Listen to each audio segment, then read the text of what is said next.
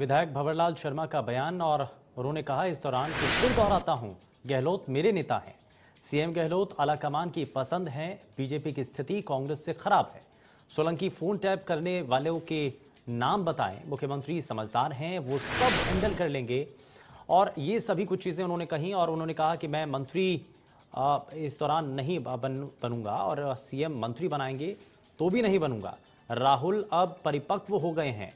राहुल को अब अध्यक्ष बनना चाहिए, ये इस दौरान शर्मा ने कहा है। आलाकमान की पसंद है मुख्यमंत्री तो यहाँ मुख्यमंत्री को लेकर के उन्होंने इस दौरान बात रखी है। उन्होंने कहा कि मुख्यमंत्री आलाकमान की पसंद हैं, लेकिन वहीं राहुल गांधी को लेकर के भी उन्होंने ज़िक्र किया। उन्होंने कहा कि अब राहुल गांधी परिपक्व हो गए हैं और मैं मंत्री बनने, मानेसर नहीं गया था, सीएम मंत्री बनाएँगे तब भी नहीं बनूँगा।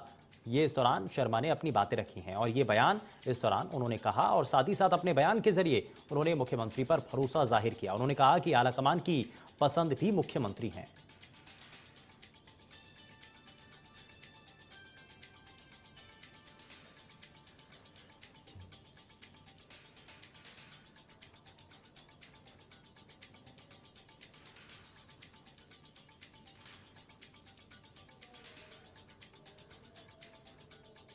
तो इस दौरान उन्होंने अपनी बात रखी, बयान के ज़रिए उन्होंने कहा कि अब मुख्यमंत्री को पसंद आलाकमान करता है।